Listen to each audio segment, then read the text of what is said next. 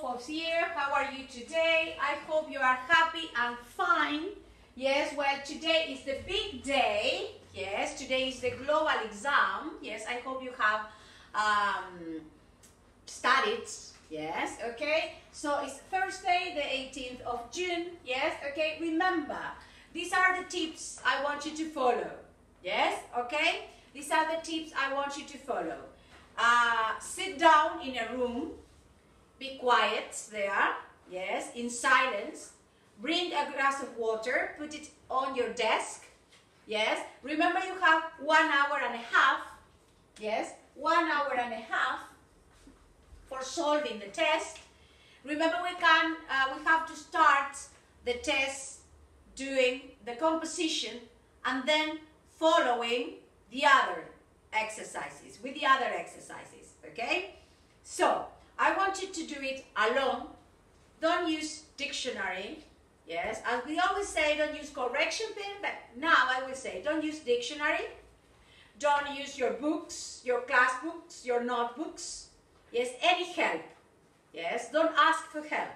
Yes, I want you to do it alone. Yes, so I want you to be conscious of that because we are training for the final exam. And this is a very important exam. This is the mid-year exam. And with these results, yes, I will know what things I have to revise. Yes, so it is very important that you do it alone. Sit, don't stand up and go to the toilet. Go to the toilet first and then sit down and concentrate. Yes, do it as if you were here. Okay, is it clear? So I will be there in your conscious. yes, okay, in your conscious. Uh, I will.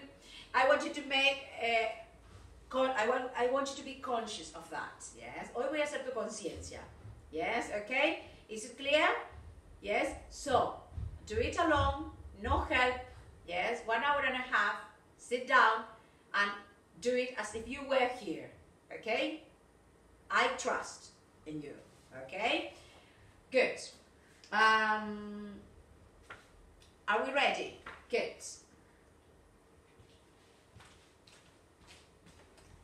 Uh, it is the first exam that we don't do it here.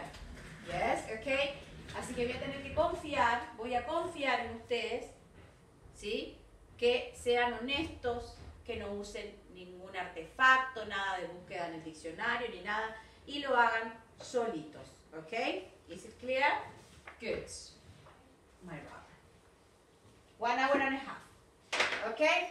So you have to read the article, complete and complete gaps from 1 to 6 with the uh, sentences from A to H. There are two extra sentences that, sentences that you don't need.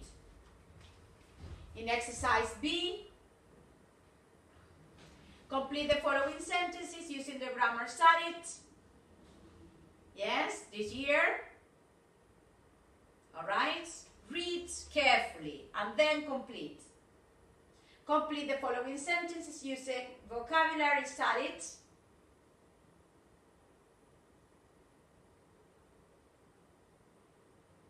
The first letter is given us a help.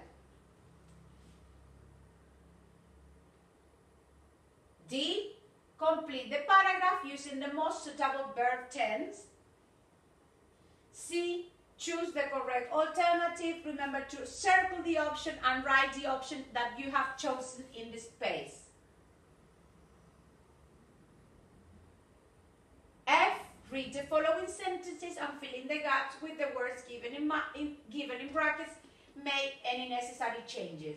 Okay, remember to read the sentence and uh, think about it. Think if it is, if you need a verb, a noun, an adjective in this space, okay? And then write a news story. Young boy kills a woman accidentally. Must words must be underlined, underlined. However, although, conditional 0 and 1, remember if present present, if present future, community service, amazingly. Okay? So remember that, first of all, you are going to start with this okay? 120 words, yes? Uh, ponete el celular o algo, medite 20 minutes for the composition more or less. Ay, teacher, pero yo lo hago antes. 20 minutes more or less. In 15 minutes you do it, in 5 you check, in 20 minutes you do it, and in 5 minutes you check. And the rest, yes, is for the grammar and reading. Is it clear? But no more than 20 minutes for the composition, okay? 25 is a lot, yes? 20, between 20 and 25, maximum. Yes, okay? Is it clear? So, start with the composition and then follow. Do the exam as if you were here. Yes, okay? Good. So, let's go to the listening. Yes, okay?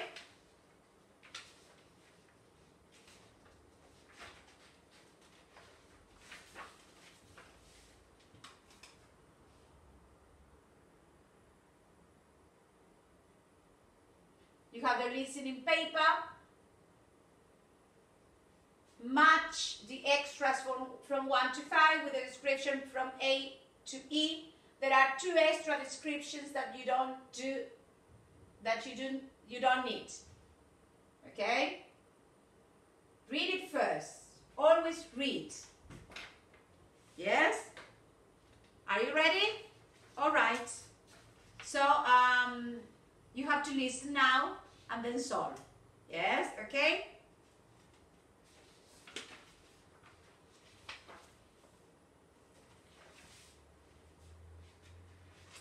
You can listen and write at the same time, yes? You don't need to put the pen down now, okay? Is it clear? Good. There we are. 29. CD4. Track 29. 1. Uh, follow me, please. Now, uh, in this room, you can see objects that were preserved in the volcano eruption in Pompeii in AD 79. At that time, Pompeii had about 20,000 inhabitants and was a busy city. They had public baths and many types of shops. Before the actual eruption, a witness reported seeing a large cloud of volcanic ash over the top of the mountain. When the volcano erupted, it covered the city in about three meters of hot ash and rock. This is why many of the objects you can see here were preserved. 2. This is Tim Jenkins reporting live.